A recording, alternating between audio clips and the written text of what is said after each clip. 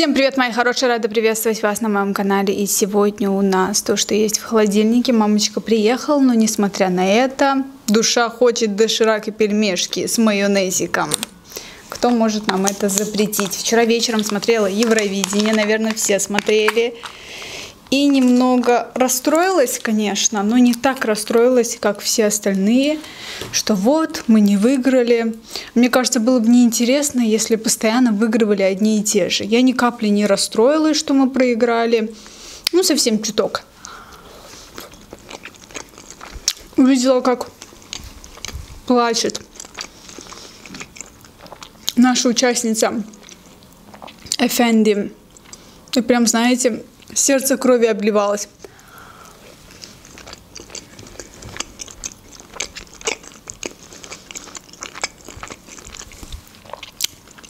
Еще я болела за Украину. Но тоже там не первое, не второе, третье место. Поэтому, к сожалению, такой исход. Но ничего страшного. Некоторые, ой, позорное место. Позорное, знаете, какое место? Да вообще никакое не позорное место. Там Великобритания набрала 0 баллов. Прикиньте, 0.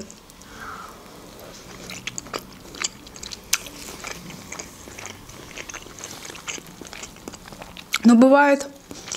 У нас однажды Евровидение было. Столько бюджета было потрачено на Евровидение. Ничего нифига не окупилось, так что ничего.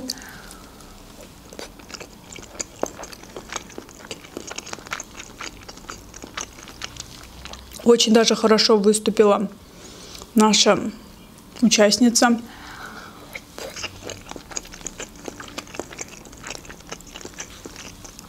Зашла на ее страницу, написала пару хороших комментариев. Мне кажется, она с таким настроем ехала прям побеждать. Вот другого варианта нет, побеждать. У нее такой настрой был. Если у России, например, у Манижи ну, просто чисто поучаствовать. И она правильно настроила себя, потому что когда ты настраиваешься чисто на победу, потом это не получается, это вдвойне, мне кажется, больнее и неприятно. Вот.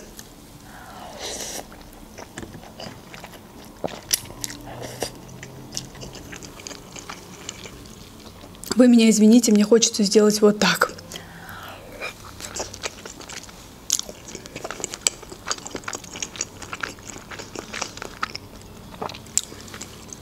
у девушки из Молдовы упал микрофон.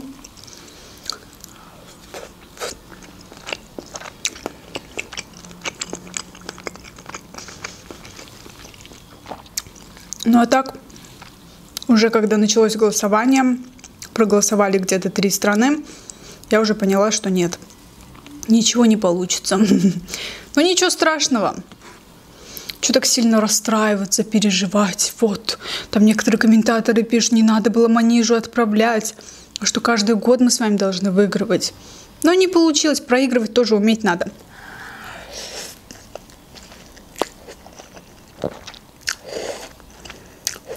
Мне кажется, русским вообще переживать не за что. В прошлом году Little Big просто покорили Евровидение. К сожалению, из-за пандемии не было. Но мне кажется, если бы было бы, то Россия бы стопудово была бы на первом месте.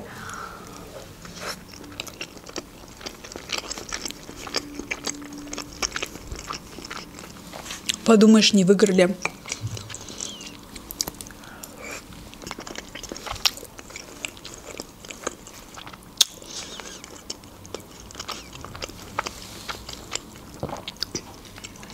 Лапша так идет.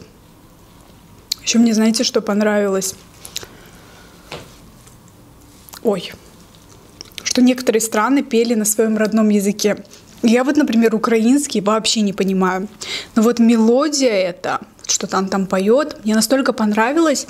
И мне кажется, надо уже выходить из зоны комфорта и пытаться угождать кому-то и петь, например, только на английском Каждое государство может петь на своем родном языке. И не просто, чтобы выиграть обязательно, петь на английском, а просто, чтобы поучаствовать и продемонстрировать всем, как сделала Украина, например, свой родной язык.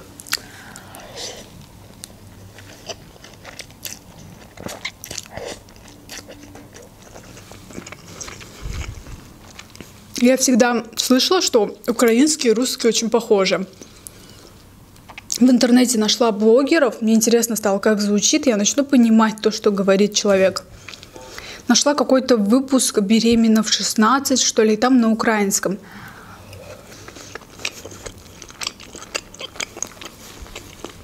И вы знаете, я не поняла. Либо я тугодум,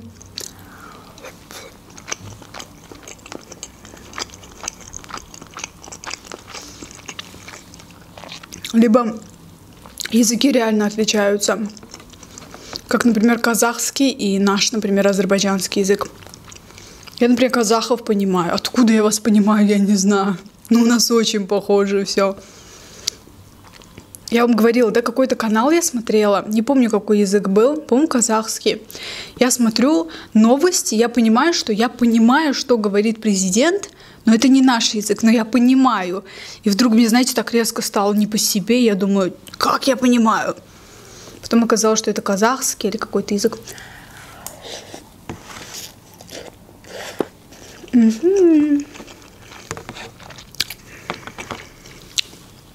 Пельмешечки. М-м, твикшонок. Твикшонок на меня смотрит. Надо ему имена. Мясо. Давайте.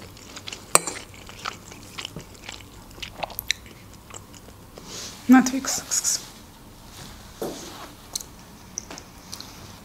Давайте немного поотвечаю на вопросы. Кристина задает вопрос. Айка очень хотела, чтобы ты поменяла свой стиль. Например, сделала амбре или покрасила волосы какой-то светлый оттенок. Почему не делаешь никакие изменения во внешности? Я имею в виду именно стиль, стрижка, цвет волос и так далее. Знаете, я в подростковом периоде очень много изменений делала. Мне это нравилось. Я ничуть не жалею обо всем об этом. Но сейчас я поняла, что самый универсальный, самый универсальный оттенок для меня это мой натуральный. У меня кое-где начали появляться седые волосы, прикиньте. У меня у мамы вообще в 17 лет уже много было седых волос. То есть у нас на генетическом уровне очень рано сидеют волосы. Мне вот буквально пару лет как началось.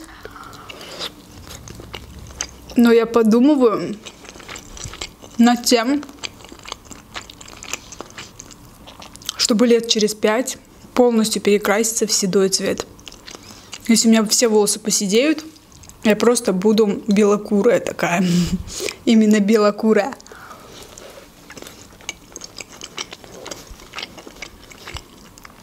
Просто вы знаете, смотришь фотографии, например, покраска волос. Идешь в салоне, красишься.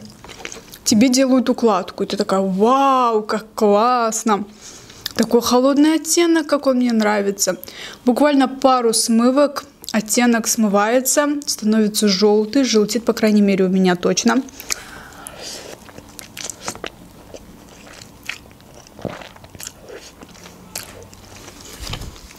То есть то, что мы видим в инстаграмах салонов, это все не остается. И это нужно признать. То есть вы идете в салон, тратите кучу бабок, времени, портите волосы, а потом этот эффект постоянно нужно поддерживать. Постоянно нужно опять краситься. Если бы даже, знаете, эффект держался 3-4 месяца, я бы сказала, окей. У меня у подруги сестра старшая перекрасилась в блонд. Когда она пришла из салона, мы все такие, вау, как круто. Вот буквально две недели прошло. У нее этот холодный оттенок начал отдавать в зелень. У кого-то отдает в цыпленка, у кого-то в зелень. То есть как бы эффект временный, из-за этого портить волосы зачем?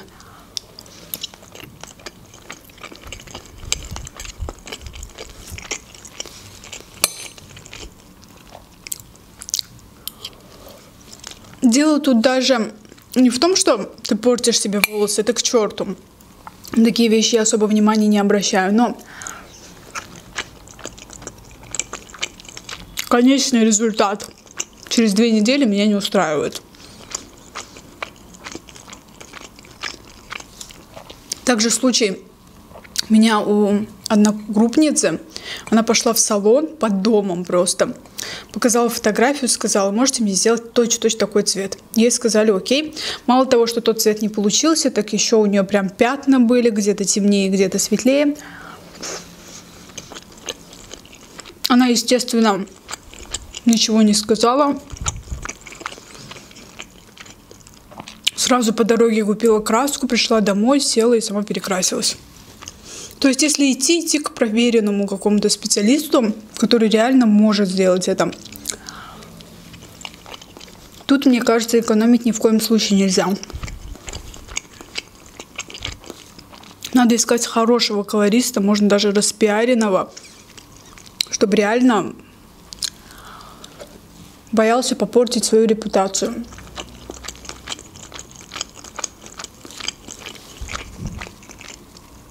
Поэтому я не стричь челку, не делать каре не собираюсь. Немного собираюсь подстричь кончики, но вы даже это не заметите. Так кардинально менять именно образ. Да, надо немножко губки добавить, например, да. Они у меня уже сдулись, в исходное положение уже пришли. Это да. Я имею в виду именно стиль, там, не знаю, прическу. Какие-то такие вещи. Все равно, знаете, ресницы черные, например, да. Стану я блондинкой. Ресницы черные. Корни отрастают черные. Я такая блонди. Даже если бы я была шатенкой, все равно не стала бы перекрашиваться в блондинку. Уж извините, вот так.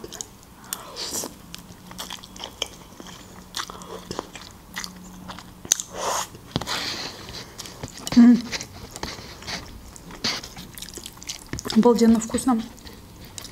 У меня в последнее время все идет вот